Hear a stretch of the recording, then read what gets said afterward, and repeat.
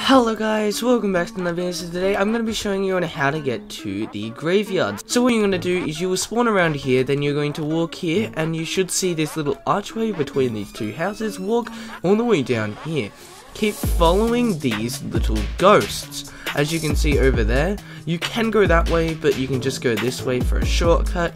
As you can see, you can just follow that path there as well and you should see the graveyard right here. This is how you find the graveyard in Roblox Island, so I hope this video was helpful. Make sure to leave a like, subscribe, turn the notification bell on, and I'll see you next video or live stream YouTube.